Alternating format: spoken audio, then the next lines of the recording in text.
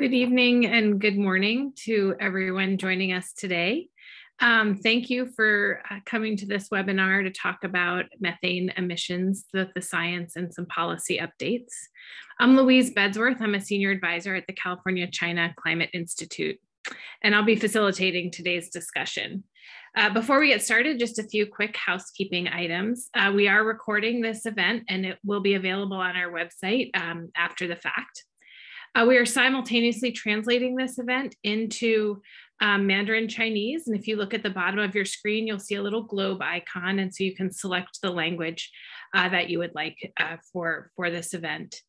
Uh, we will be going through the presentations and we welcome uh, questions to be put into the Q&A function at the, again, at the bottom of your screen on Zoom. And we'll try to answer as many questions as we can live. We'll go through um, four presentations and then we'll turn to an open uh, question and answer and discussion session. Uh, so uh, we're going to start by hearing a few updates on science and technology around methane emissions and methane detection. First, we'll hear from Dr. Gabrielle Dreyfus, the Chief Scientist at the Institute for Governance and Sustainable Development. This will be followed by remarks by Dr. Riley Duren, who is the CEO of Carbon Mapper, who will talk about satellite mapping and technologies to track methane emissions. So with that, I will turn it over to Dr. Dreyfus.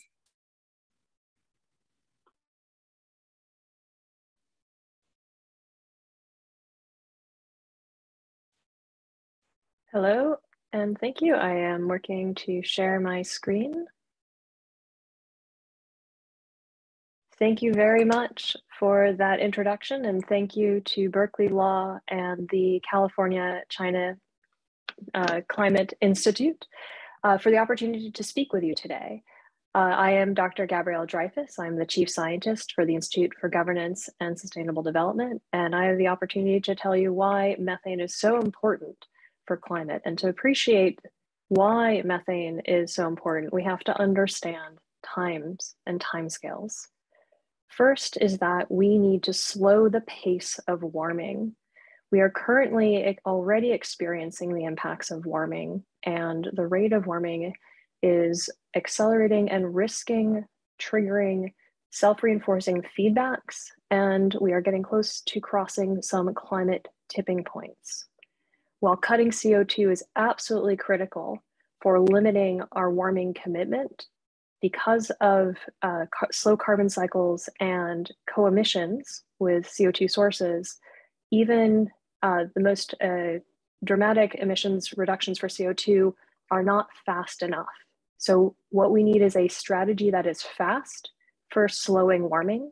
And methane, due to the fact that it's both extremely potent as a greenhouse gas and has a relatively short lifetime on the order of 11 years, is the method that, that uh, and the strategy that has the greatest potential to slow warming over the next two decades. It may be, it, and it is the best we know.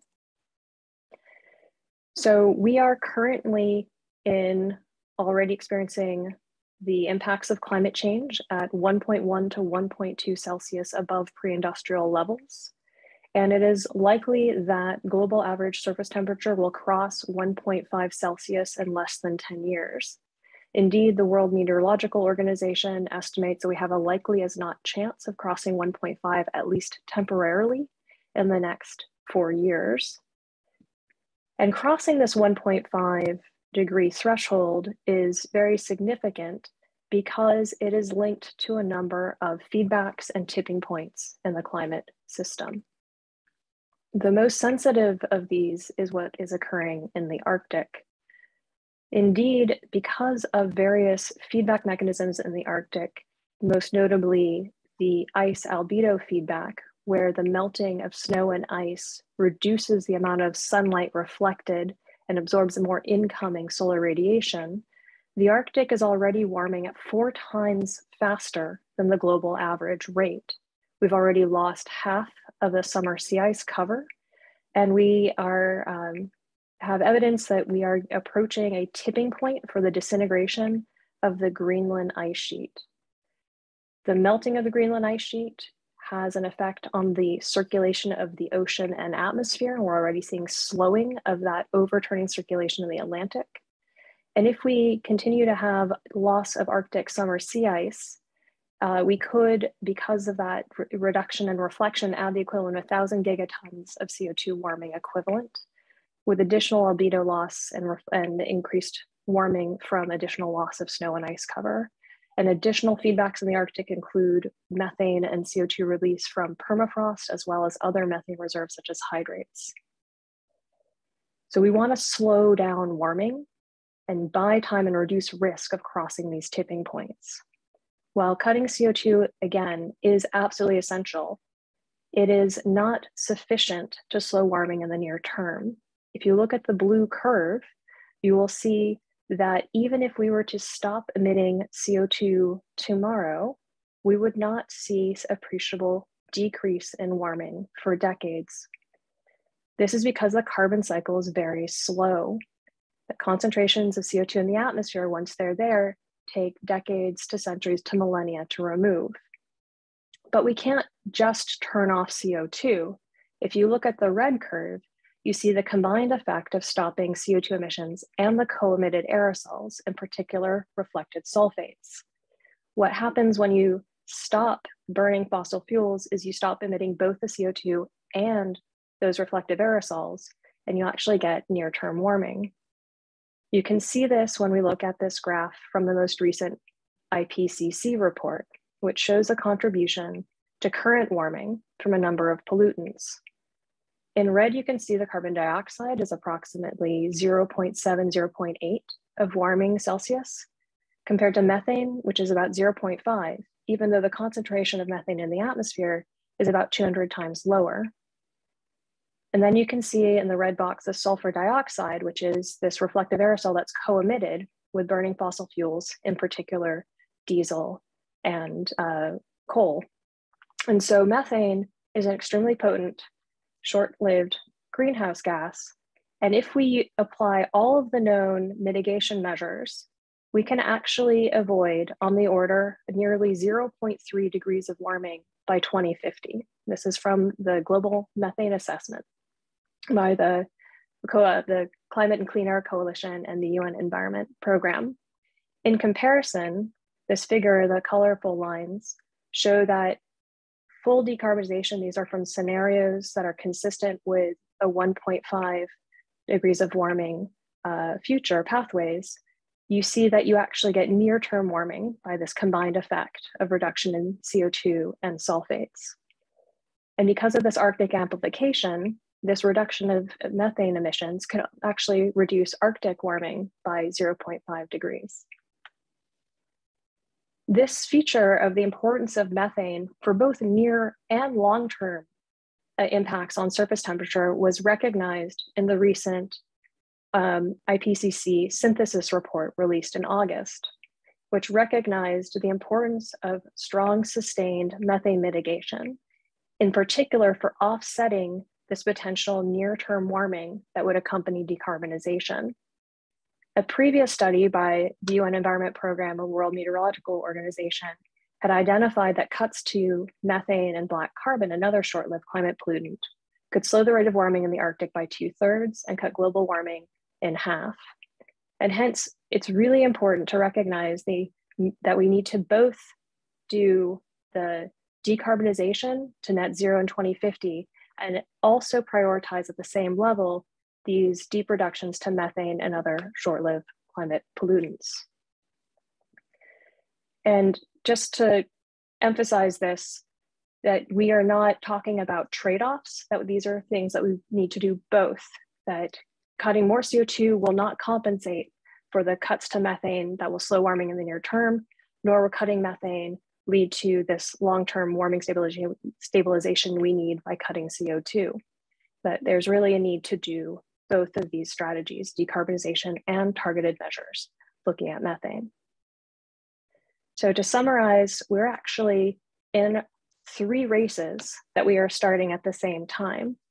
There is the sprint, which is what we need to do over the next 10 years to reduce methane emissions dramatically as called for in the Global Methane Pledge, for example. and uh, other superclimate pollutants to slow the pace of warming over the next decade or two. And while we're racing this sprint, we're also running a marathon to decarbonize by 2050, as well as an ultra marathon to develop carbon and methane removal as soon as possible technologies to remove these greenhouse gases from the atmosphere, as well as prepare and research other climate interventions. Thank you very much. With that, I will hand it back.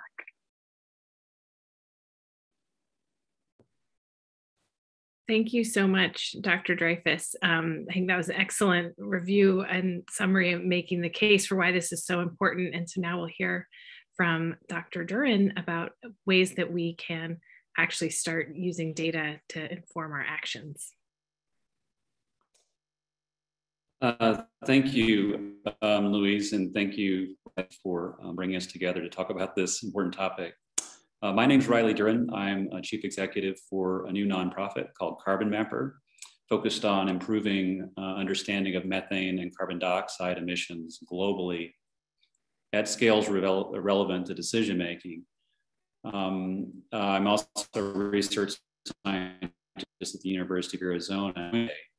Um, it are some developments on this topic that arise both from my own team's work that started with NASA's Jet Propulsion Laboratory in California with our partners with California agencies, in particular the California Air Resources Board, as well as a much larger and international uh, collection of research efforts. This opening slide just offers an illustration of the diversity of methane emissions at the scale of individual operations ranging from waste management to agriculture to fossil fuel activity. And while the focus on this slide is on examples of airborne remote sensing around the United States, we already know with our other measurements and our colleagues around the world that these are uh, everywhere. And so I'm going to try to give you some insight into how things are advancing and what to look forward to in years to come. So the first thing to know about methane emissions is that they vary significantly by region, um, as well as how they are estimated, the methods that are used to estimate them, and also importantly, their mitigation potential. And so I'll talk a little bit here about all three of those things. Um, this figure on the left is from the Global Methane Assessment completed last year by a, a collection of scientists internationally. And, and, what it shows is that methane emissions vary by sector, um, by region. In some parts of the world, agriculture and waste management are the largest contributors to the local or regional methane budgets. In other places, fossil fuel emissions, for example, from oil and gas or coal production and use dominate. And so it's important to understand what your uh, emission inventory or budget is in your region um, to prioritize to mitigate those emissions. Uh, the other thing is that uh, estimates of emissions vary according to the methods used. And this figure in the upper right is just an illustration of many studies um, that attempt to break down the emissions budget of a region using two methods. One is using a so-called bottom-up method, emission inventories based on activity uh, information and emission factors. And the other one is the so-called top-down method using direct atmospheric measurements. Both of these techniques have their, their pros and cons.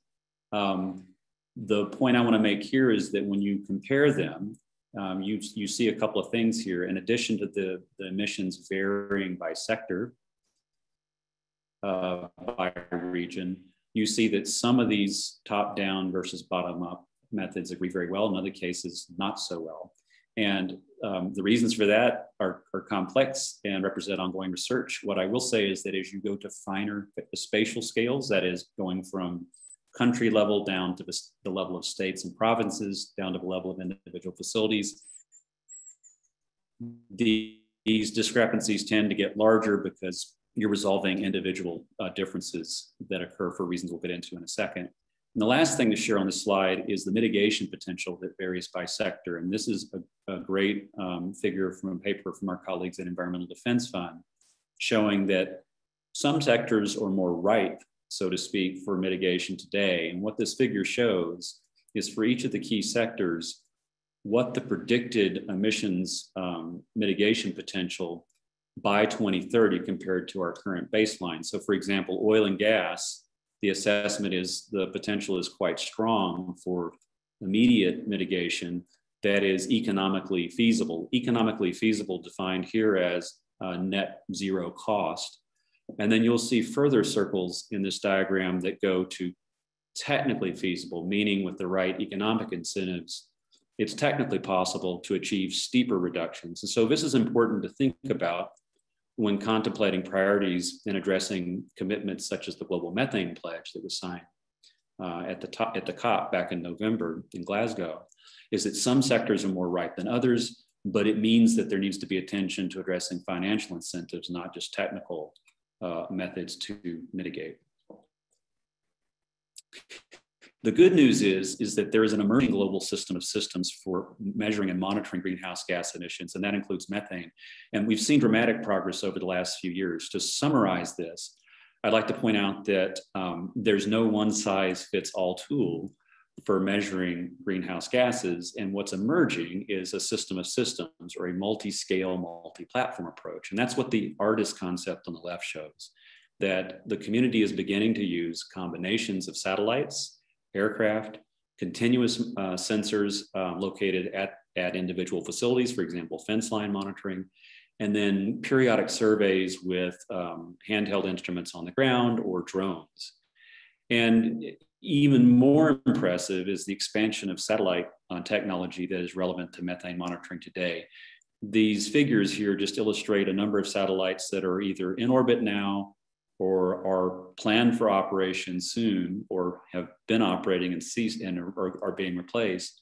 And the point is, is that scientists around the world, including international collaborations like the one uh, mentioned here, looking at emissions in the Permian Basin, are using these multiple satellites from uh, different countries to look at methane collectively. And so the, the capability to measure methane from space is emerging dramatically and will continue to grow over the next several years. And so these are important tools that we can we can put to use. And I'll say a little bit more about that in a moment. In terms of combining these measurements from different platforms, this is an example from uh, field studies done in Southwest Pennsylvania. And most of the methane that we're going to see here comes from coal mining and gas production. So the figure on the left is a map of methane emissions derived from satellite observations, in this case, the Sentinel-5 precursor mission, TROPOMI. And this map shows, generally speaking, somewhat coarsely where the methane emissions are. Um, but more importantly, it gives us a constraint on the total emissions from that region. So now if we zoom into Southwest Pennsylvania, and this is the animation on the right, now using airborne remote sensing, we can image individual plumes of methane gas and quantify those emission rates. And what you're going to see as the airplane moves overhead is that the larger plumes in this image are emissions from coal mine venting in the area. And the smaller plumes, little purple dots you see here and there, are emissions from gas production, wellheads, gas lines, tank batteries, compressor stations. And it's by putting these two measurement techniques together that we get a more complete understanding, both at the individual facility scale as well as the net impact at regional scale to provide context. Another topic I want to bring up is super emitters. The so-called super emitter is a phenomenon that's been observed in basically every methane emission sector. And that is, in many cases, in many regions, a small fraction of the infrastructure is disproportionately responsible for emissions. For example, in many cases, we see that less than 1% of the infrastructure in a region is responsible for between 20 and 60% of the regional totals. And we've seen this in California with the study we published a few years ago, and we see it in other uh, important basins around the US. Um, the other thing I want to point out is that in many cases, these so-called super emitters are highly intermittent. This animation on the right shows a map of methane emissions in the Permian Basin and in New Mexico and Texas in the United States. And if you were to stare at some of these dots, you would see that some of them actually persist. They don't go away completely.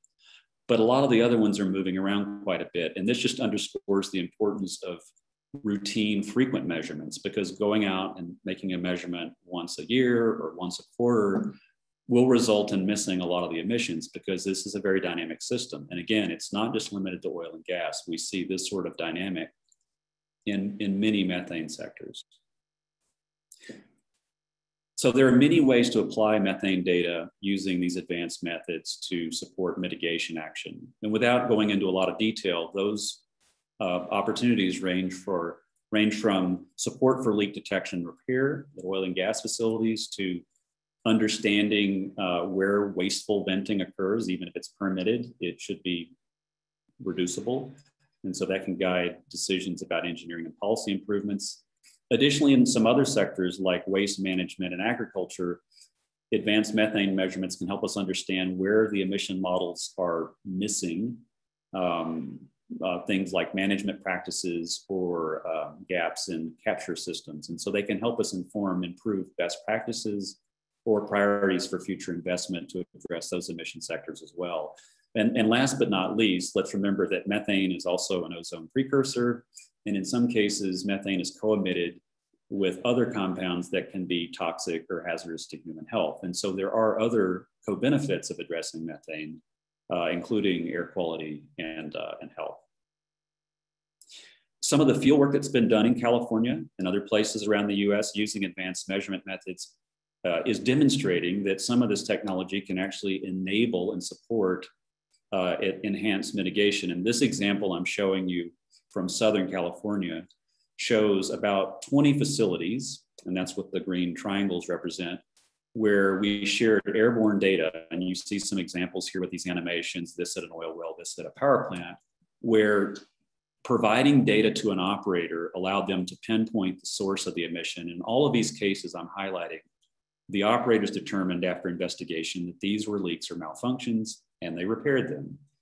In fact, when we share this data more broadly, working with our partners in the Air Resources Board and the private sector, the reports that we get back are about half of these super emitters are, are deemed fixable or repairable by operators.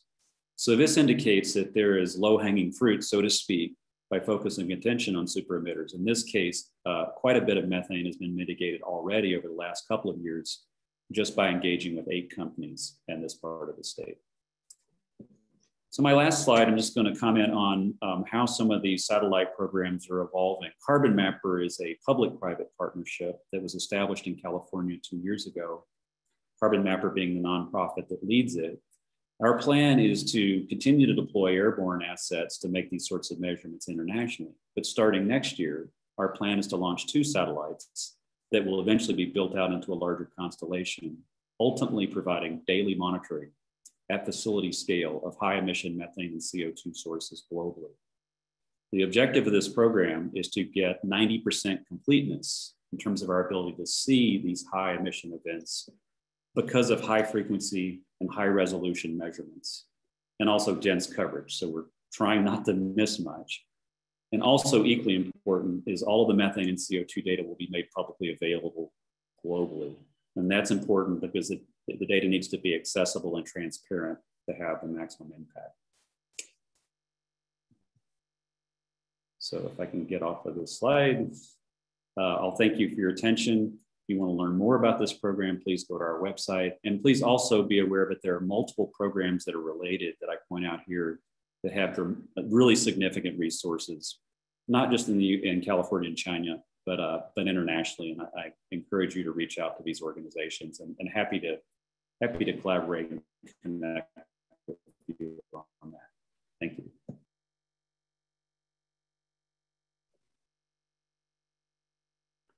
Great. Thank you both so much. Those were really um, informative uh, presentations. We're now going to turn to hear some policy updates. Unfortunately, one of our speakers from the California Resources Board had a last minute um, emergency come up is not able to make it, but we will hear from uh, Tomas Carbonell from the U.S. Environmental Protection Agency, where he is the Deputy Assistant Administrator for Stationary Sources. Uh, so we'll hear about some work happening at the federal level, and then we'll hear from Stephanie Rucker from the Colorado Air Pollution Control Division and hear about some subnational activities happening in Colorado. So with that, I'll turn over to you, Tomas. Thank you, Louise, and hi, everyone. Thank you so much for the opportunity to join the discussion today. Let me just put my slides up on the screen here.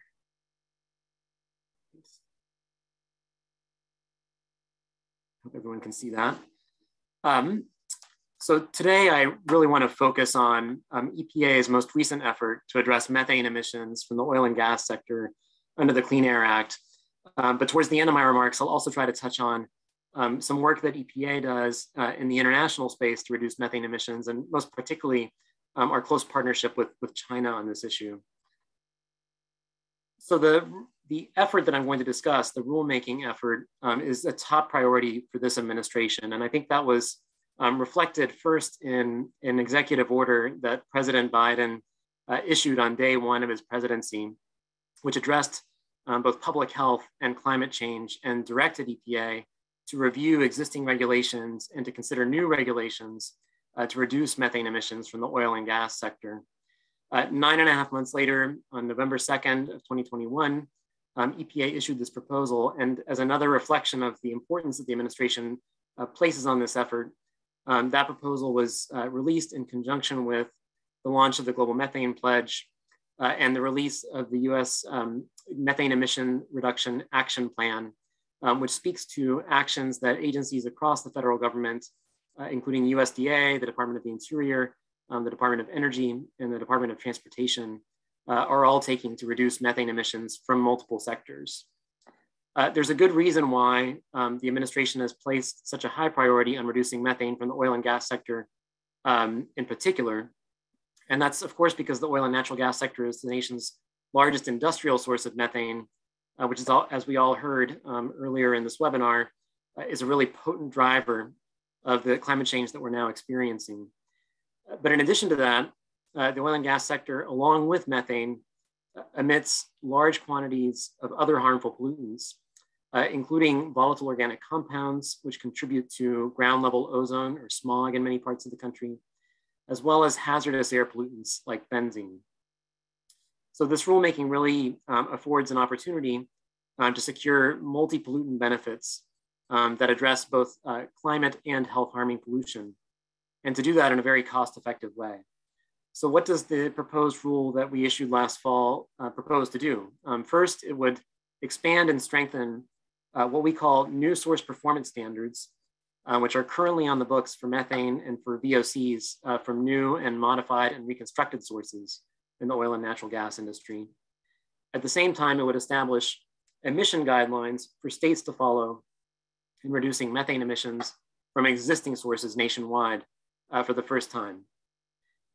As I'll describe in a moment, it will secure major climate and health benefits, and it will do that by leveraging both innovative technologies, um, including some of the uh, innovative uh, methane detection techniques that Dr. Duren has pointed to, as well as proven and cost-effective solutions uh, that major oil and gas producing states and leading companies have already been deploying to minimize or eliminate this harmful pollution. One thing I'll just note before going to the next slide is that this really draws on um, the extensive experience um, and solutions that we've seen proven out at both the state and industry level, and draws from extensive public input um, and outreach that we undertook in the months leading up to the proposal, um, including outreach to communities, um, to state energy and environmental regulators, um, to industry, uh, and to environmental and public health NGOs. I'll just quickly review some of the both climate and health benefits associated with the rule um, EPA estimates um, that this rule would achieve significant reductions in both methane pollution as well as VOCs and hazardous air pollution.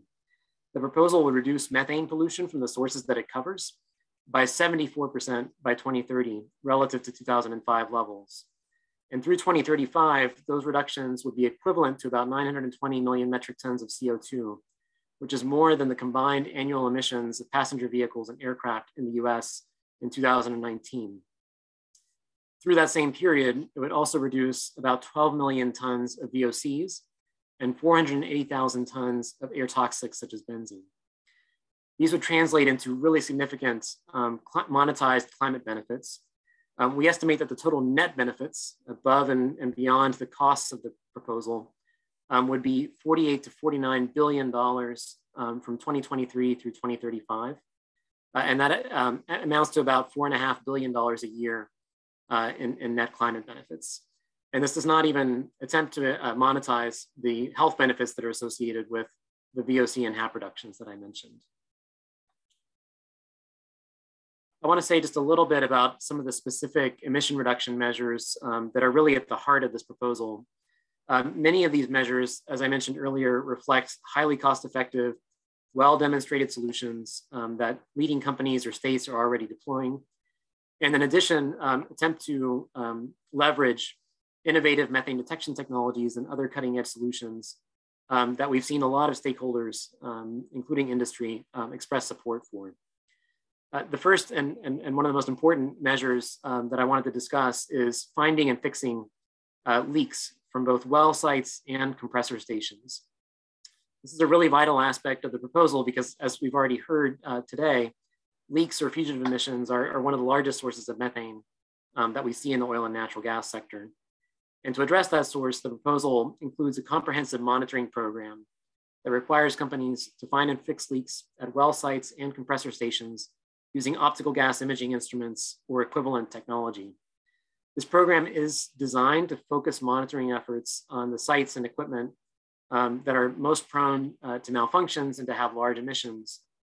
And alongside this camera-based um, mon regulatory monitoring requirement that I've described, uh, we also create a role for innovative technologies by proposing to give owners and operators um, the option to utilize uh, advanced detection technologies uh, such as aerial surveys or mobile monitoring units um, to detect um, methane or to carry out these required surveys uh, at well sites and compressor stations.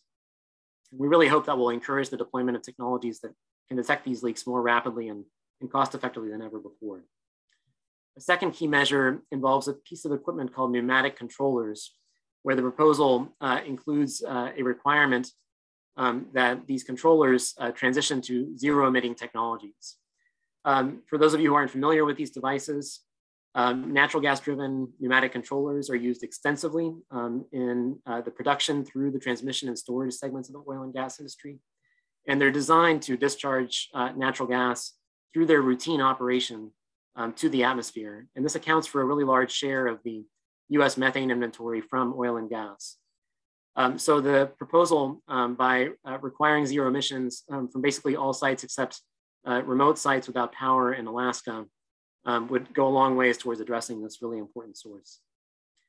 A third major measure that I wanted to address was um, associated gas, um, which is produced along with oil at many oil wells in the United States. Um, in many cases, the uh, gas is produced along with the oil um, is vented or flared because there's no sales line uh, available. Uh, under the proposal, we would uh, prohibit the venting of that gas and require um, high performance flaring uh, in order to reduce methane emissions associated with vented uh, associated gas. And where a sales line is available, operators would be required to route, to capture and route that gas to the sales line. In addition to these uh, key components, there are also standards that address methane and VOC emissions from liquids unloading operations uh, at natural gas wells, uh, from storage vessels, which are a major source of emissions and um, frequently associated with malfunctions that lead to high, high, high uh, emission events, uh, compressors and pneumatic pumps, uh, again, addressing new and existing sources in all of these categories. I just want to say a little bit about um, the coverage of the proposal with respect to the different segments in the oil and natural gas sector.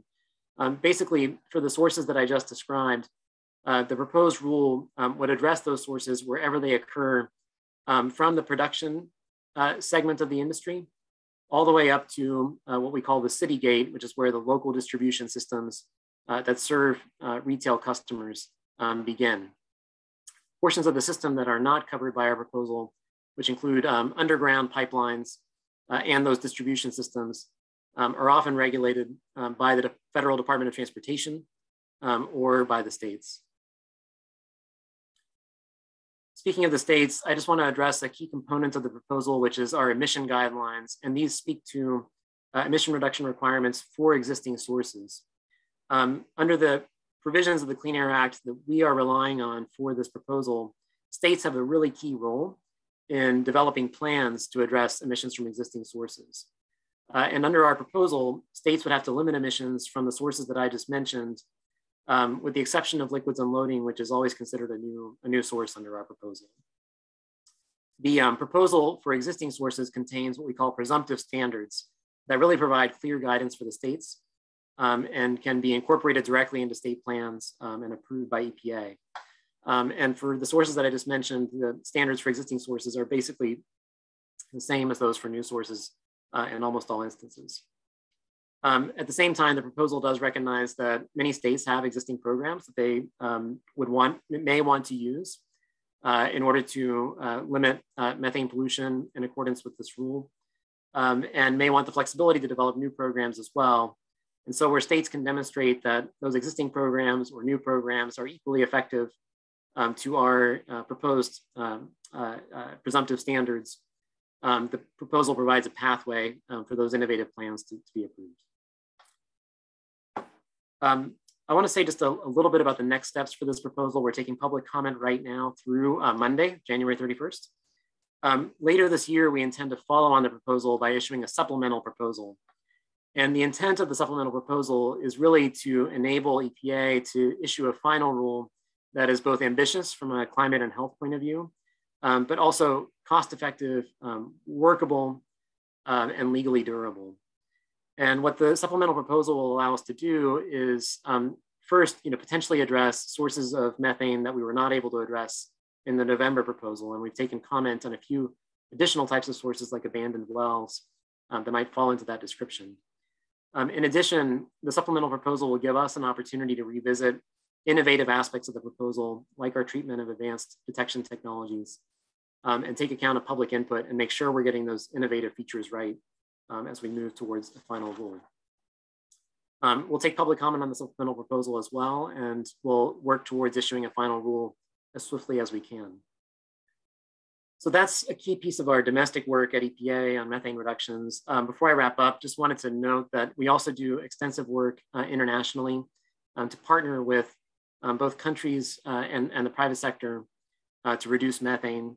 Since 2004, an important element of that work has been our work through the Global Methane Initiative, which is a public-private partnership um, that focuses on reducing methane across several major sectors, including uh, oil and gas, as well as coal mining, um, agriculture, uh, and uh, waste and wastewater. From the beginning, uh, China has been a key partner in this effort, and over many years, EPA has worked with China to provide technical assistance to build capacity um, and to identify potential opportunities for mitigation projects um, through initiatives like the China Coal Information Institute, as well as collaboration um, with the UNECE um, to establish the International Center for Excellence for Coal Mine Methane in China. Um, in Glasgow, uh, we were very proud to sign with China a joint declaration on enhancing climate action that highlighted, highlighted a number of different areas in which the US and China intend to collaborate on climate issues, um, including collaboration on methane. So we really look forward to continuing that work uh, and to making progress on this important issue, um, which has important ramifications both for climate and for health. So thank you all and I look forward to the Q&A after, after our presentations. Thank you so much, Tomas. That was terrific. Um, and we will now turn to Stephanie Rucker, who will talk about work underway in Colorado.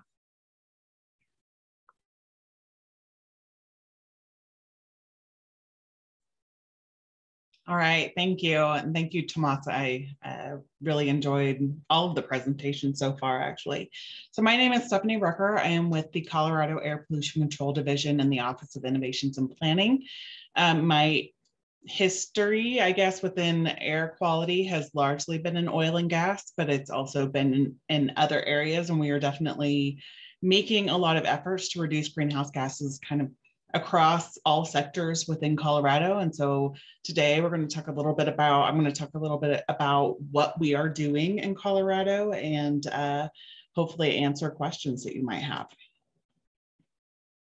So there's been quite a bit of, of legislative activity. Um, so, like many states, we have been limited in the past in terms of our ability to regulate things like methane or greenhouse gases, as our statutes, our state statutes, didn't allow uh, for, for that specifically. And so, while we have done over, over the past many years, um, done a lot to reduce VOC emissions, which in turn also has helped reduce methane emissions in many cases. Uh, we have never been able to specifically target greenhouse gases in Colorado until this 2019 bill uh, was signed called the Climate Action Plan to Reduce Pollution. This action plan established goals by 2025, 2030, and 2050 to reduce Colorado wide greenhouse gas emissions. And it breaks it down into the different sectors. So, industrial, power, transportation, oil and gas um, is, is under industrial. So, we have um, quite a number of areas where we have broken down what it is that we have to do to accomplish these 2025, 2030, and 2050 goals. We also had a recent House bill um, last year uh, in 2021 called the Environmental Justice and Disproportionately Impacted Communities Bill. And really, this one wasn't necessarily a climate change bill, although climate equity was definitely a piece of it it was focused on encouraging or in requiring uh, for us as the state as we were creating rules to consider environmental justice and consider our disproportionately impacted communities in the development of these rules. Um, so that is a big piece of it, but it also established, in addition to the the kind of statewide goals that were in the 191261. It established very specific oil and gas sector targets in 21 1266. So we are dealing with those now. After the statute, of course, comes all of the regulatory activity as we have been given um, authority to move forward with regulations related to greenhouse gases. And so it's been uh, kind of all hands on deck within the Air Pollution Control Division, attempting to uh, accommodate all of the legislative activity, meet the requirements, um, and ultimately put us on the right path towards these 2025 and 2030 goals with plans in the future of continuing that effort to get us to the 2050 goals as well. The first thing really that uh, was tackled was related to just greenhouse gas reporting. Um, while EPA has a greenhouse gas reporting program, they do have a relatively high threshold in terms of what types of facilities have to report to that uh, greenhouse gas registry. And so we in Colorado created our own greenhouse gas reporting program and requirements that includes uh, quite a bit more um, and much smaller facilities um, so that we are getting a more comprehensive look at what the emissions are from various uh, sectors within Colorado. We've also recently uh, had our commission adopt oil and gas specific rules, upstream and midstream rules related to uh, reduction of greenhouse gas. It was the first, or is the first oil and gas specific greenhouse gas rule that we've ever been able to uh, pass in Colorado. We've got a number of areas that we're working on related to transportation, whether it's um, looking at low emission vehicles and no emission vehicles, as well as trying to reduce single occupancy vehicles and um, encourage either less commuting or uh, just uh, car hours out on the on the roads. We recently uh, had this greenhouse gas emissions and energy efficiency manufacturing uh, rulemaking. So that was in November. It was adopted by our commission.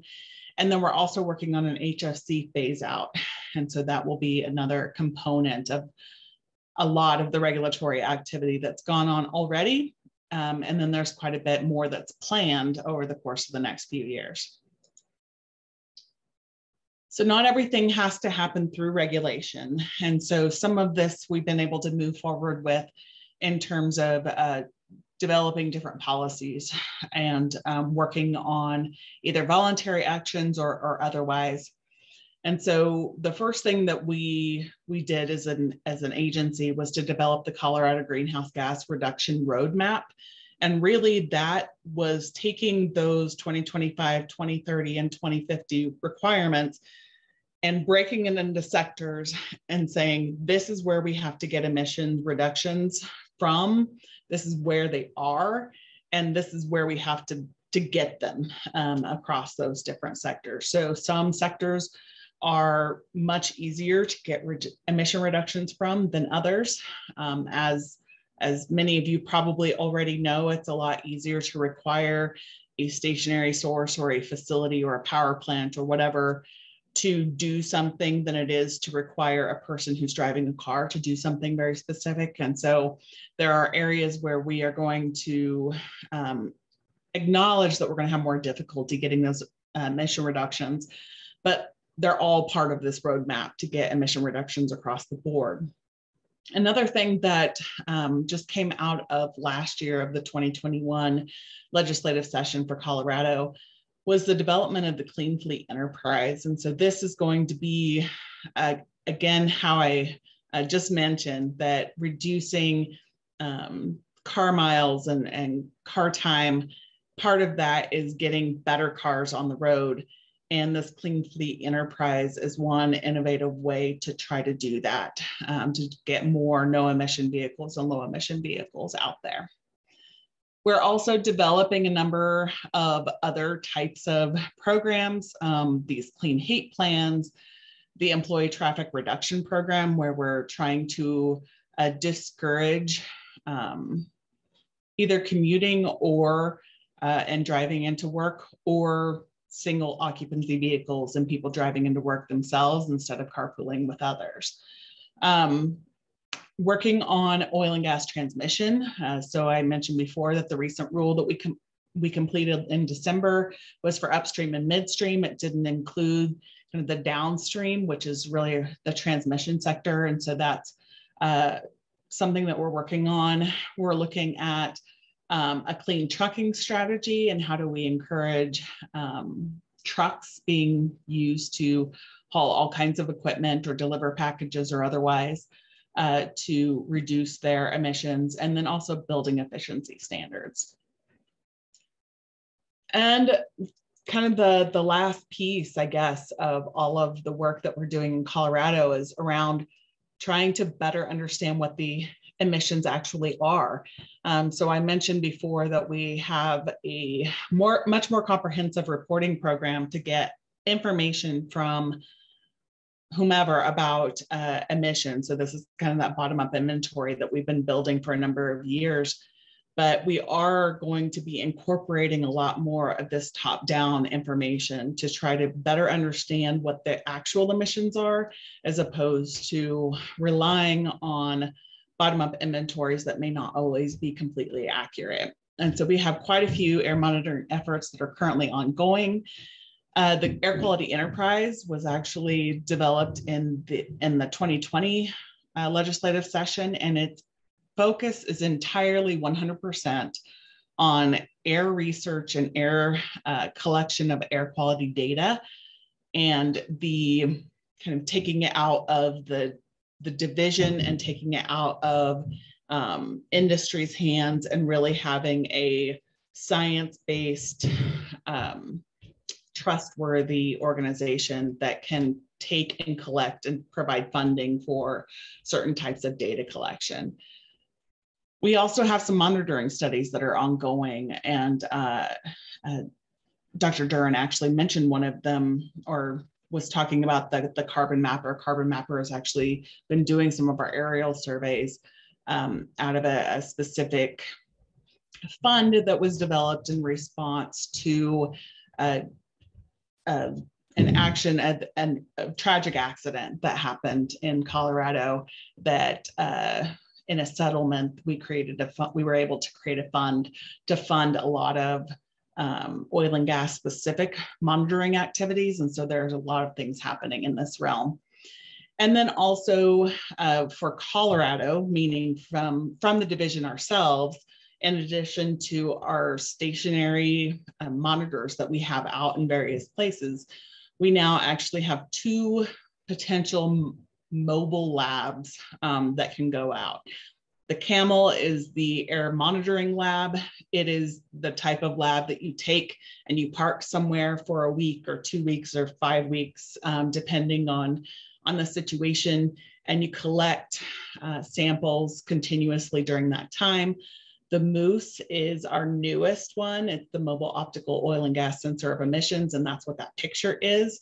And it actually will drive around um, our various areas of a high concentration of either oil and gas activity or otherwise, and be able to uh, detect large emission events that are, uh, I guess, um, something that we can actually um, detect from ground level as opposed to something that's uh, going to be too high for the, the van to be able to collect. So we've got those uh, two that are out there on a regular basis as well.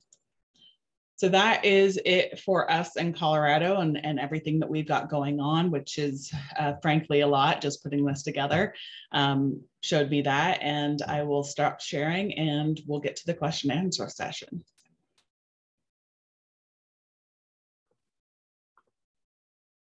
Great. Thank you all so much. Those were terrific um, presentations and uh, really exciting to see the work that's underway and the advances in, in science and technology to help us solve these challenges. So I would invite um, anyone who has a question to go ahead and put it into the question and answer um, function and we will answer as many questions as we're able to. Um, perhaps we'll just to get started, um, I'll ask a question of Dr. Dreyfus, um, which is if you could tell us a little bit about efforts um, globally. We have the Global Methane Pledge um, and a lot of activity happening. What, what are some strategies that we can use to really spur action globally to address, you know, in an urgent manner, uh, you know, achieving these reductions? It's an excellent question. I think that the uh, movement and momentum coming out of the Glasgow COP with both the global methane pledge that over 100 countries joined in a very brief period of time between when it was first announced by the US and the European Union in September and when it was formally launched in November. And then again, as uh, as, as uh, Tomas uh, Carbonell was pointing out, the joint declaration, Glasgow Declaration between the, the US and China that includes um, a methane uh, action plan uh, is, is quite significant because as we've seen from these presentations, uh, there's a lot of work that needs to be done to better and more accurately understand the sources, especially as uh, Dr. Duren was showing that there are some sources that are, are intermittent. Um, that better monitoring to uh, assess these sources, better awareness and commitments. And what really needs to happen is uh, taking that improved knowledge uh, to the next step with some kind of global methane instrument that will um, essentially uh, take what, build on the momentum to have greater uh, political commitment to actually making the reductions that we need to uh, get us on this pathway uh, to keeping 1.5 alive and reducing risks from these feedbacks and tipping points that are so much closer uh, than most people realize. Great, thank you. Um, we do have one question that came in uh, through the chat. Um, which uh, talks about the the U.S. China uh, Glasgow agreement in Glasgow, and really and the um, the intentions to develop additional measures to enhance methane emission control at both the national and subnational levels. Um, and in its recently communicated NDC, China has in, announced that it intends to develop a national action plan on methane. Uh, and so I think the question is on what issues can states and the federal agencies of the United States and China um, promote implementation of this agreement? And are there specific subnational um, opportunities to advance implementation of the US China um, Glasgow Agreement? And so I think maybe you all have a little bit of, of thoughts on that, but um, does anyone want to start? And so what, what sort of opportunities exist? Tomas? Louise, yeah, I, I, can I can um, you know take a first cut of that question. I would really welcome other thoughts from from fellow panelists. Um, I'll, I'll just note that it was you know extremely exciting uh, to see this joint declaration as one of the um, sort of uh, you know um, uh, accords uh, reached at, at, at Glasgow. Uh, and, and think it really opens up our opportunities both in, in the US and China um, to drive um, uh, innovation as well as uh, emission reductions um, in this space. And I, I, can't speak to the subnational opportunities, but I'll just note that at the federal level, um, we're, we're actively engaged in conversations about you know, how, how we can implement this agreement, what areas are, are most productive to engage on, um, and I'll just say, you know, generally, I think there's just a lot of opportunities um, to share uh, information and research, um, you know, across um, uh, both countries um, to um, share solutions, including uh, information about, you know, programs like the oil and gas program that I described earlier today, and uh, uh, in, in, ways that might be applicable across borders. Um, and uh, to um, you know share uh, best practices and techniques in areas like uh, methane measurement and inventory development um, that I think are going to be you know beneficial um, for both countries um, to address um, you know their complex sources of methane. Uh, so I hope, hope that's somewhat helpful in addressing at the federal level you know some potential areas of collaboration. Great. And do you see from a sector specific, do you think there are certain sectors? I mean, I know you all have obviously been focusing quite a bit on oil and gas. Is that a place where you see a high priority for sort of starting that collaboration and cooperation? Well, certainly, certainly that's one. I, I and I should say I'm, I'm, I'm not a deep expert on, on this aspect, but I, but I, my understanding is that um, uh, China, particularly with, with regard to coal mining, has significant methane emissions. And a lot of our work through the Global Methane Initiative has been focused on that sector. Um, and so I think that, you know, there's uh, a fair amount of experience that's been developed in the US uh, in addressing that sector um, and not just at EPA. Um, and, and, and, my guess is that that would be a very fruitful area for, for collaboration. Um, although I think, you know, there's probably opportunities across all of the major sectors. I can um, I can try to add to that. I think um, you've got my video muted, but um, this is Riley. I'll just add that um, one specific sector where we're learning a lot, I think, in California and other U.S. states is waste management. Um, and so, while it is true that I think the most shovel-ready sector for mitigation is oil and gas, um, because a lot of the technology, it's all built system. A lot of the technology and investments are there to act on it, um, given the right incentives. Waste management might be next. Agriculture is hard um, because addressing methane emissions from agriculture is not just a technological solution. It may have to do with changing dietary uh, norms around the world. But, um, but when it comes to waste management, what we're learning in places like California is that many of the models that predict the methane emissions don't accurately capture all behavior. There is outlier behavior that is both a function of leak detection, I mean, sorry, leaks in um, the built systems that are supposed to capture gas and manage landfills. But there are also some problematic practices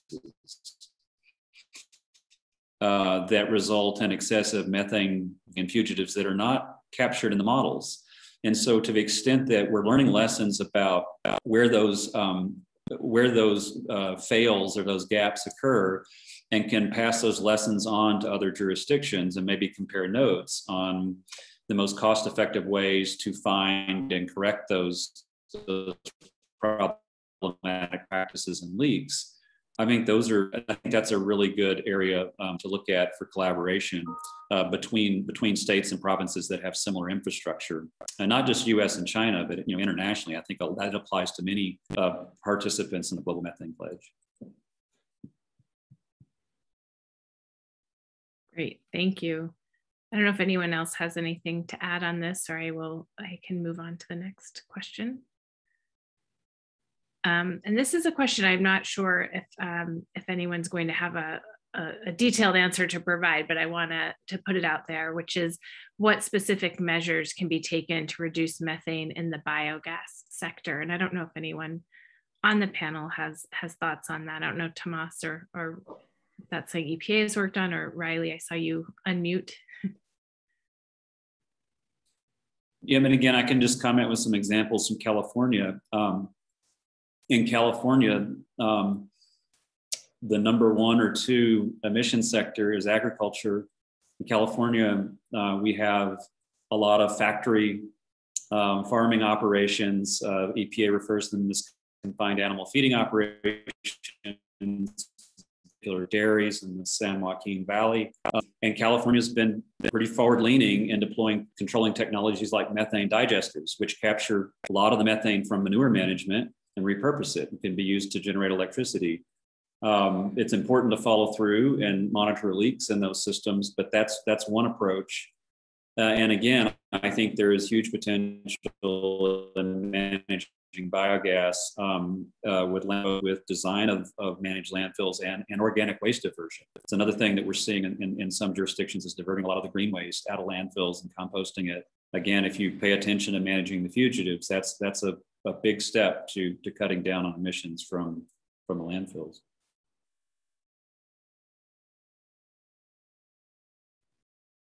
And I'll, I'll, I'll, just note that um, from the EPA side, you know, bi biogas digesters, um, obviously not the only technology available to reduce methane from the ag sector broadly, um, but, it, but it is a key opportunity and, and one that EPA has been very focused on.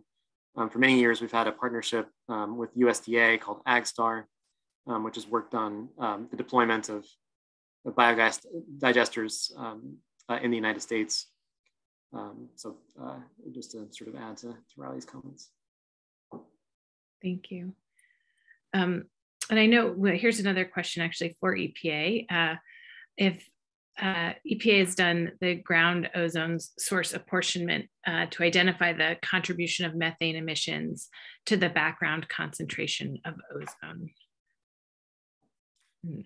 Yeah, and um, I can just address that question generally. I mean, this is an issue that um, uh, our Office of Air and Radiation has examined carefully and uh, my understanding at least is that um, methane compared to VOCs is not very reactive um, and so it doesn't contribute substantially to localized uh, ozone, at least in the United States, um, which is one reason why we haven't regulated it as an ozone precursor in the past.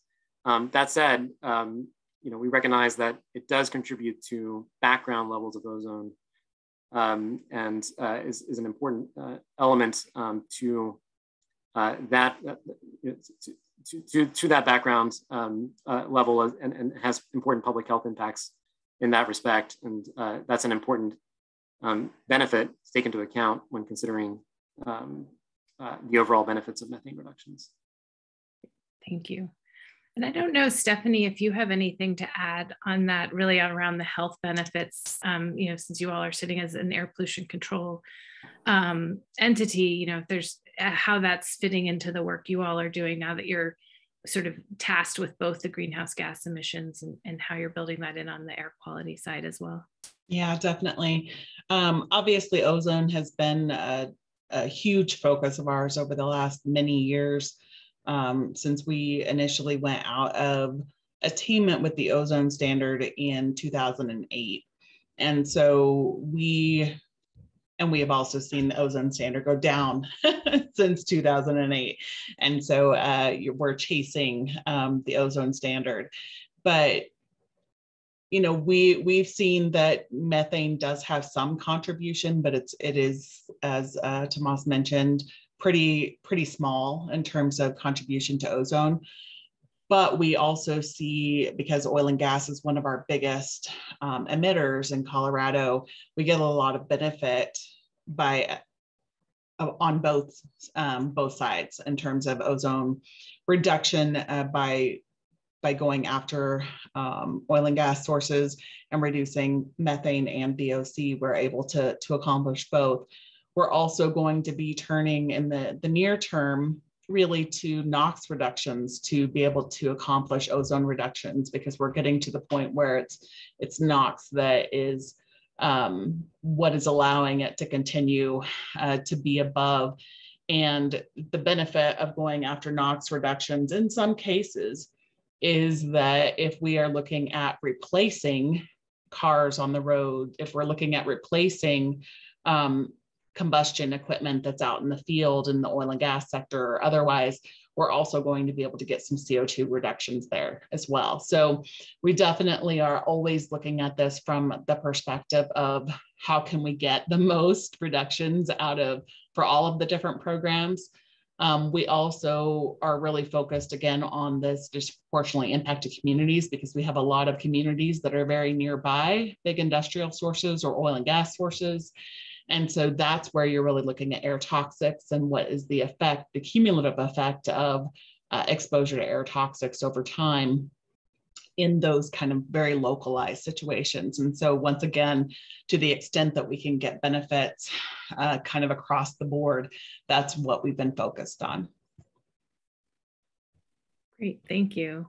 There's a question here that I think actually a number of you will have um, perspectives on, um, which is around the degree of cooperation or and or resistance. Um, as you're starting, as you're looking and focus on the oil and gas industry, and, and but also I think Riley, just in the broad work that you all are doing, as you're tracking sort of site specific emissions, how is that working? You know, when you're sharing those data, um, it sounded like Riley, you gave several examples where they were very, very responsive and able to address issues. But I'm curious, um, you know, from a regulatory perspective, also, you know, as a data provider or, or, or someone who's measuring um, you know, how that, what that dynamic has been like. Yeah, I, I can answer that because I've been working not just with Riley, but also with others.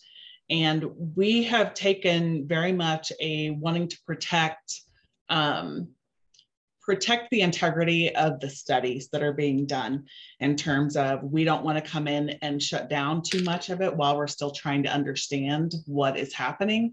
We also have um, some of our universities are actually working directly with operators and so they're getting feedback you know they're they're having these conversations about okay we saw this what is it and they have you know non-disclosure agreements amongst themselves and so we're not really involved in that and so what we what we have established with these um, with these researchers who are out there gathering data either at ground level or aerial is we've kind of come up with a you know, threshold of when do they let us know? Um, you know, if it's a traditional leak or it's a traditional super emitter that maybe isn't causing an immediate concern, then they're going to continue on their way. But if it passes a threshold of it's really, really big, and we saw it more than once, and it's very near a populated area, or it's not associated with the facility. Maybe it's coming from the ground. Um, in some of those cases, we've been able to see that. And therefore, it could indicate a pipeline leak, for example. Um, in those cases, they've gone ahead and let us know. And then we've been coordinating with COGCC, um, with PHMSA to the extent that we need to do that uh, to make sure that we are protecting the immediate health and safety of Colorado. So that's that's how we have been approaching it because again we want to protect the integrity of the research program and the research projects that are being done one if i can add to that one yeah, um, one challenge with so-called third-party reporting um, that is it's not measurements being made by but a third party detects a methane emission is what i call jurisdictional fragmentation so I'll an example that we worked on with Steph and her team in Colorado last summer is one of our flights detected a persistent methane super emitter out in a field. Uh, and we reported it within a day or two of seeing it. Um, and after about a week, um, with coordinating with our uh, collaborators in Colorado and with, and with the Colorado agencies, a team was sent out on the ground and it took a while for them to detect it. Uh, first of all, they couldn't see it with an optical gas imager. They had to use different technologies to find it. And then when they found it, it took a while to isolate it. It wasn't a wellhead, it was actually an adjacent gathering line. And that, that means it's an entirely different entity jurisdiction and different state agencies as opposed to someone who might have jurisdiction over the wellhead. So in some cases, there's a challenge in finding out who do you call first and so it, it, we do need, in some cases, we need the equivalent of a first responder um, function to methane notification just to make sure you've got the right people contacted before you answer the question of, well, are they responsive? And so that's that's important to recognize because I, I would say a diverse ecosystem of regulators in terms of responsibility, and there are things we could do, I think, to streamline uh, that that process. Thank you. And I don't know, Tomas, you mentioned it sounds like this is some maybe a topic of sort of these more innovative and advanced technology measurement systems that you guys are looking at in the supplemental rulemaking that you discussed. Um, what has the reaction been as you guys have been going through the rulemaking process? I don't know if you could share what you've heard, um, you know, how folks are thinking through the different sort of data and measurement Sure, and um, just just elaborate a bit on how you know we acknowledge these technologies in the proposed rule. You know, basically the proposed rule has kind of a, a core regulatory monitoring element to it, which is based on optical gas imaging, as I mentioned, um, and includes you know routine surveys of well sites and compressor stations. And for well sites, you know the, the focus is on well sites that have that are more complex and that are more likely to have large emissions. Um, but alongside that, there's this compliance option um, which is meant to be technology neutral in the sense that it can accommodate a large variety of advanced detection technologies and was really designed with um, technologies like satellites and aerial surveys in mind. And under that alternative pathway, we've proposed some basic requirements. So there's like a performance requirement um, included in the proposal in terms of a, a, detection threshold that the technology has to meet. There's a minimum number of surveys that have to be undertaken per year. I think it's uh, six surveys per year. Um, and then there's a requirement that there be on top of that an annual optical gas imaging survey um, to ensure that, that small leaks that may not be detected um, by, by these technologies are captured. Um, so we're really interested in input sort of on all of those elements. Like that, that would be the first time we've really created a role for, for these technologies in a regulatory program uh, under the Clean Air Act. Um, and you know, we're really interested in, in feedback on uh, how effective uh, these basic elements would be in reducing emissions, um, as well as whether there are you know, different criteria we should be considering um, or whether we've gotten uh, those parameters um, right in terms of effectiveness and, and, and cost. Um, I would say that you know these technologies are really broadly supported, um, and you know from industry to states to NGOs, um, we were urged before the proposal came out to provide a role in a pathway um, for those technologies. Um, and I've gotten some positive feedback on uh, you know the, the, recognition of the uh, important role those technologies can play as part of this program. Um, I think it's a bit early to say, you know, we just haven't had a chance to, to review all the public comments, obviously. I, I think it's a bit early to say, um, you know, whether um, we might want to revisit or, or modify, you know, some elements of, of that framework. Um, and the supplemental proposal is, uh, as I mentioned, a really important vehicle that will let us kind of um, essentially have a dialogue with, with stakeholders and with the public, um, incorporate that public input, uh, and try to make sure that we that we get these features right. Great, thank you.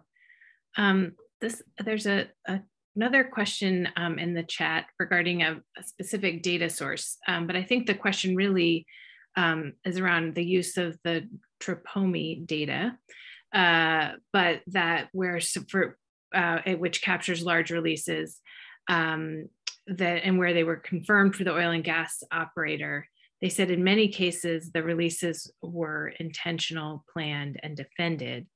Um, and I don't know, you know, and probably many of you have, um, you know, have interacted uh, with folks around releases or leaks, um, and so I'm just curious the the responses that you've received.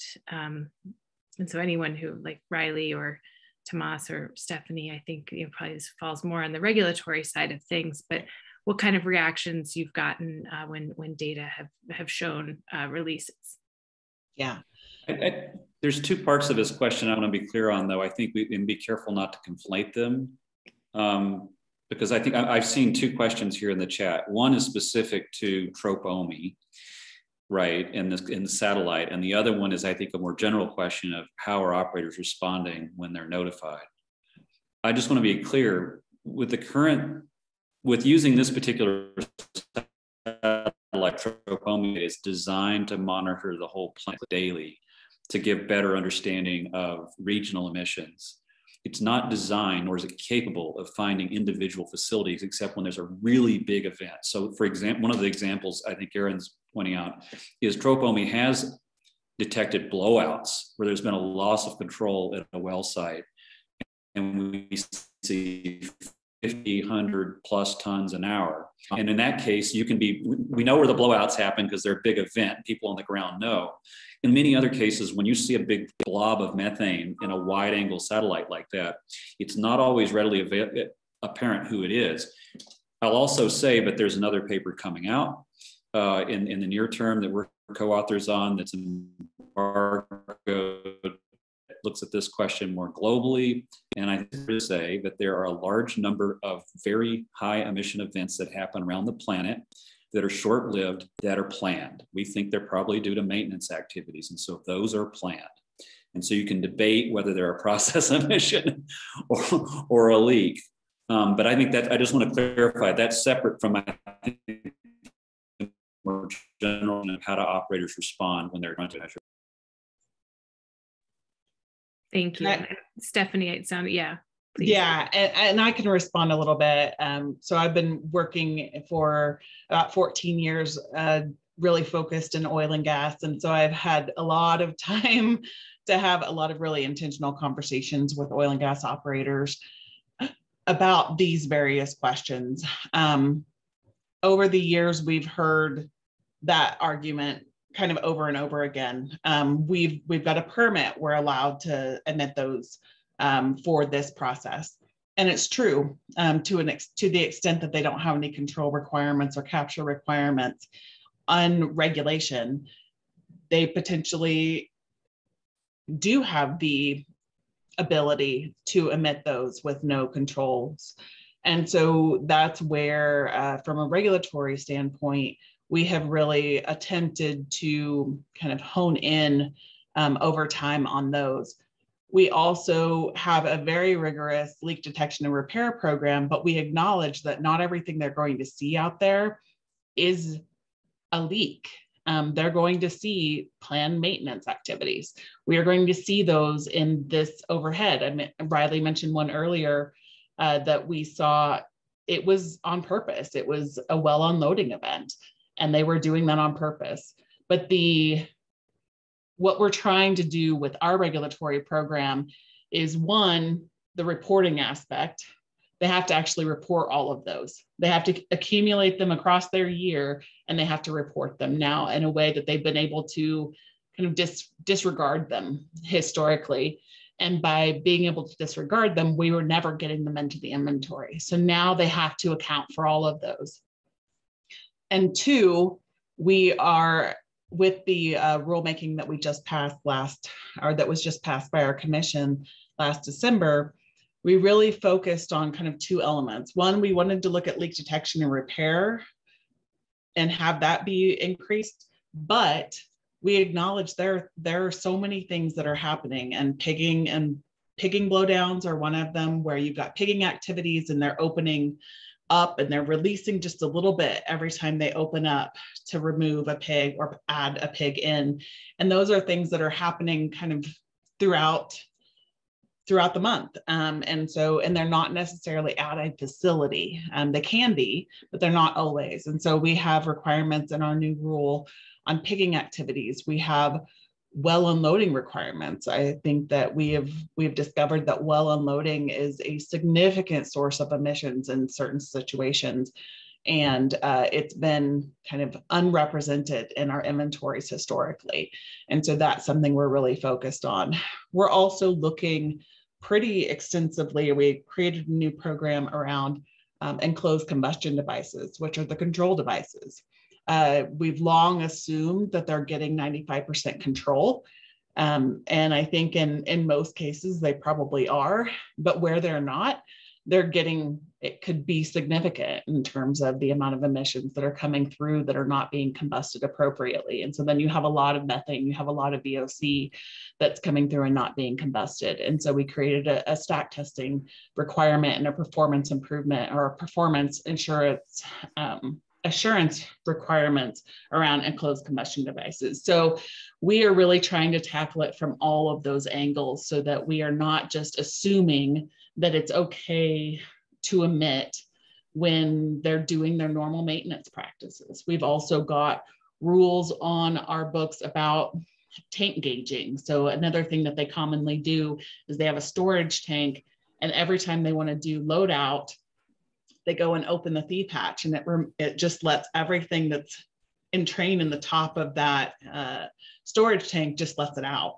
It doesn't go to the flare anymore. It's going out because they have to look into it and then they dip something into it to collect a sample to say, is this saleable, saleable oil? And so we want them to not open those thief hatches. And so we we have requirements around having ports so that they can get, collect that information and do the, the job that they need to do without actually opening those. So there's there's a lot, um, especially on an oil and gas side, that can be done to reduce the opportunity for emissions, not just capture emissions. so.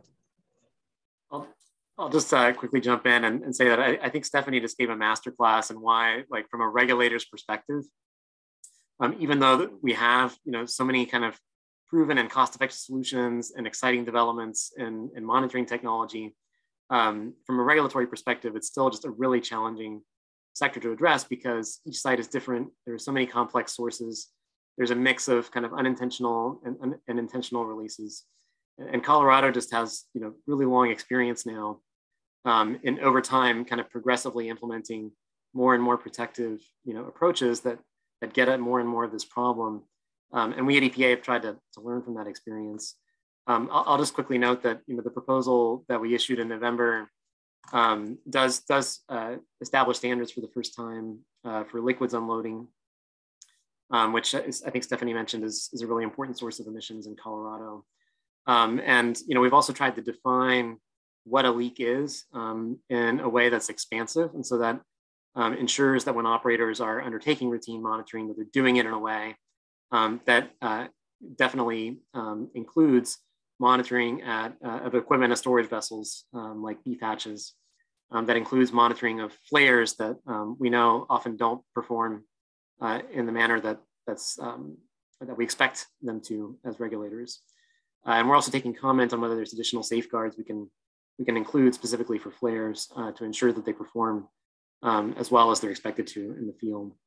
Um, I'll also just note that we are taking comments on a on what we've laid out as a concept in the proposal. It's not actually um, part of the regulatory requirements that we propose, but we call it a community monitoring program.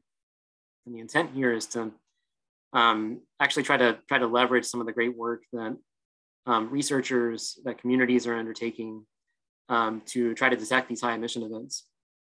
And, and, the, and the concept that we've solicited comment on is whether you know, EPA should essentially create a mechanism by which uh, these high emission events when they're detected by anyone, whether it's by uh, regulators, whether it's by uh, a community monitoring effort, um, whether it's by researchers, um, whether we should create a mechanism where you know those emitting events can be documented, um, reported uh, in a way that uh, uh, triggers an obligation on the part of an oil, of an oil and gas company to actually investigate um, and you know where there's um, a violation, you know, take corrective action. Uh, so we're, that, that may be one, one area where in the supplemental proposal we, we build out further and actually um, you know, include um, proposed um, you know, regulations um, based on public input. Um, but I think that that really speaks to um, you know, the, the, the, good work that we've seen and you know, the kinds of efforts that we've talked about today mm-hmm. to try to not just detect, but really kind of uh, attribute uh, these high emission events. Great. Thank you. I know we're getting close to the end of our time, but I have two questions I want to try to squeeze in. One, um, quickly, I will actually direct to you, Riley, which is around um, methane satellite um, measurement, and just that there are multiple initiatives, public and private, underway. And just, I don't know if you could speak at all to how they're coordinated, you know, how they're working together. Yeah, that's a great question. Question at the COP in Glasgow uh, organized um, at the Methane Pavilion, uh, which included representatives from Methane Sat, uh, GHG Sat, Carbon Mapper, and a French company, Kayrros, which uses the Tropomi data among other open source data sets. Uh, the short answer is um, it is voluntary coordination um, as you point out, there are many spacefaring nations, you know, funded agencies that are fielding satellites, uh, including methane-capable satellites, including China, uh, the European Union, um, the Japanese Space Agency, the U.S., and others. Um, there are also, as you point out, um, nonprofit organizations such as Carbon Mapper um, and, and Methane Sat, which are being launched. There are for-profit entities uh, uh, like GHG Sat, and Carbon Mapper is a hybrid. We have we both have a, a, public sector and a private sector component. Um, so at the moment, um, I think, and this is appropriate given that methane's an all hands on deck problem for humanity, is that you're seeing many actors act in parallel. And I think that's preferable to trying to get a coherent plan together uh, and then fund everything. And so um, the trick is um, is coordinating. And so there's two ways people are coordinating. One is we're uh, we're helping each other plan where to where to point the satellites and how to observe together. And there's actually a, a phrase called tip and cue. If satellite A sees something interesting, they let the other satellites know so we can follow up. And that's actually been done with one of these blowout examples I mentioned. And the other way we're coordinating is how do you bring the data together to harmonize it uh, to address the differences in the systems. And there's a major international program called IMEO, International Methane Emissions Observatory. There are other programs funded by or, or coordinated by the, the, World Meteorological Organization. And I think there's a lot of room for the US to do more. And, and you will see CARB doing more of this in California. They're taking a major role uh, in, you know, in doing this kind of coordination within California. And I think um, I'm hopeful we'll see signs of the same with the US government uh, in the next year or so. Great, thank you. Um, and so one last question, and I know there's a few more in here. I think there's one, Tomas, if you have it handy, someone wanted a link to the EPA Community Monitoring Initiative. I don't know if that exists, if that was able to be put into the chat. So it's uh, uh, described in the proposed rule. I was about to send out a link to it. Um, okay. I'll do that now. Terrific, thank you. Um, and then the last question I'm going to ask, I'm going to actually, I'm I'm sure everyone has something to say about it, um, but I want to start, um, Gabrielle, with you. Uh, given everything we've heard, and I think you made such a strong case to kick us off of the urgency of um, reducing emissions, and Riley just saying it's on all hands on deck. We saw lots of activity at COP26. Um, what should we expect a year from now, or a little less than a year from now at COP27? What do you think we'll be seeing? So the good news is that with some of the declarations that came out of COP26, we know that at least the US and China have laid out a number of uh, milestones in their joint declaration. So the first is a ministerial, I believe in the first half of this year, uh, to discuss what's in the ministerial, including uh, some of the work that was identified uh, together on methane. And uh, China was going to work on their, uh, their national methane action plan, I believe, this year as well, ahead of COP27. So stay tuned for those. And then, of course, we were just hearing the United States has a lot happening domestically. So I uh, would imagine that there should be more coming uh, from from the U.S. There's a lot of action in Europe as well on this in the regulatory space. Um, and then uh, uh, countries are, are working on updating their nationally determined contributions. There have been a lot of progress towards inclusion of methane in those NDCs.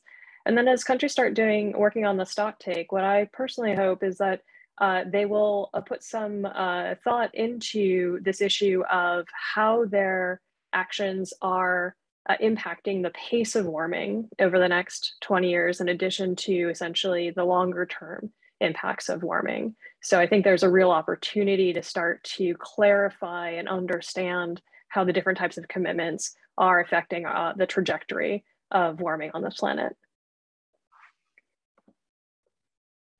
Great, thank you so much. And I am looking at the time. It is just about 5.30 p.m. California time. So I know we're reaching the end of our time if um, Tomas, Riley, or Stephanie, if you all have anything you want to add around sort of looking ahead in just a few seconds, if there's something you want to make sure you you're able to capture, please go ahead. I'll, I'll, just say quickly that you know even though the, the challenge ahead of us is clear um, in terms of the you know both at, at the global and national level, um, you know the volume of methane reductions that, that we really need to achieve as part of a a coherent climate strategy. Um, we also have just huge opportunities and there are lots of exciting developments.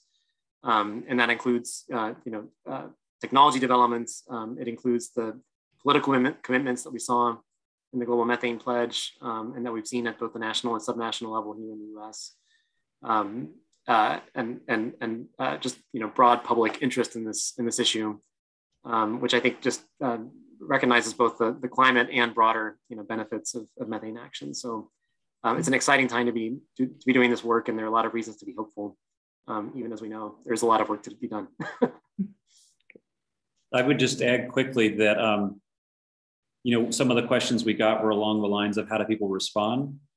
And I think one of the areas that could be most fruitful for collaboration between not just California and China, but between organizations and, and jurisdictions is to focus on building avenues that we can have constructive dialogues about emissions and about what we do with them. Um, I think the COPs are necessary but not sufficient. Uh, we need to be talking more frequently than once a year and probably more informally than the, the big events that they are. I think there are there is some talk of doing this around methane, about maybe doing a ministerial but I, I would encourage more informal collaborations. And I would just say to all of our colleagues from China who were, who are dialed in, uh, there's there's a huge appetite in the U.S. Uh, on establishing collaborations and working institution to institution. And so I think more than anything, finding a way to share information and and, and have productive dialogues effectively, particularly informal uh, collaboration is, is, is where we really need to focus, and, and we're hoping to do some of that.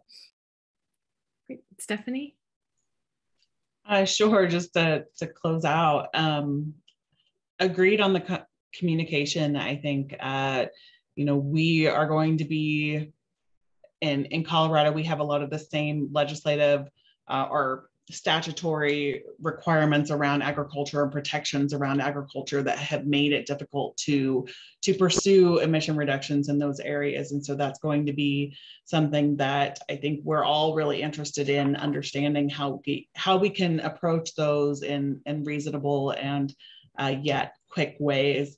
Um, you know what we've also experienced is you know one benefit of of particularly for oil and gas uh, reduction technologies that we're we've been talking about is that you're also getting ethane, which is is a greenhouse gas and has its own contributions, and so you're getting some ethane reductions there as well. And so that's one thing I just want to point out that that's not typically wrapped into the greenhouse gas in terms of all of our goals, but it is a benefit that we're getting out of doing a lot of those oil and gas uh, work. And then the last thing I'll close with is that I completely agree that we have to get these methane reductions and we have to get them sooner, and CO2 is important. But at the same time, CO2 is harder to reduce um, and from a regulatory standpoint. And so it's the, we have to start that process now and that long term planning now, because otherwise we're not going to get there by 2050. And so I just recommend um, that you're already thinking about CO2, even if that's not your immediate action plan. Great. Well, thank you all. Thank you for everyone who stuck with us for a few extra minutes. Um, Gabrielle, Riley, Tomas, Stephanie, thank you so much for your presentations and all of the expertise and insights you shared. Um, hopefully this is the start of a, a number of conversations that I know we at the California China Climate Institute want to be having around methane in partnership with all of you and many others who are on the webinar. Um, so thank you again. Thank you for everyone who joined us. Uh, this again has been recorded. It will be available on CCCI's website. Um, but please look for future events and we hope to continue engaging you in this conversation. Thank you. Thank you.